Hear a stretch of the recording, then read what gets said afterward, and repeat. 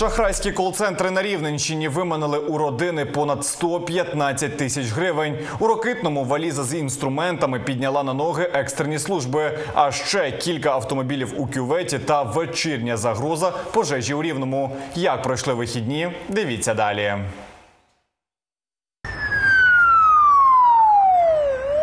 Декілька карет швидкої, ДСНС, поліція та небайдужі допомагали з наслідками ДТП у селі Грушвиця Перша.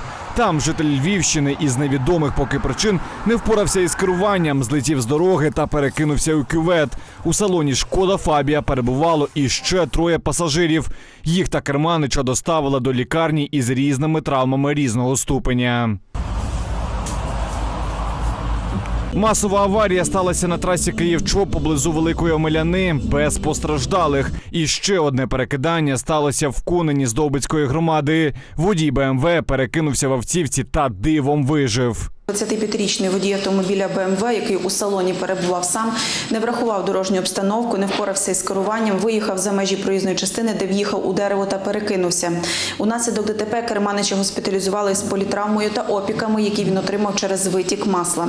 У чоловіка відібрані зразки крові. У Рокитному валіза з інструментами підняла на ноги екстрені служби. Була підозра на вибухівку. А в рівному на щасливе з'їхалося кілька екіпажів вогнеборців. В одній з квартир було коротке замикання. На щастя, без подальшого горіння.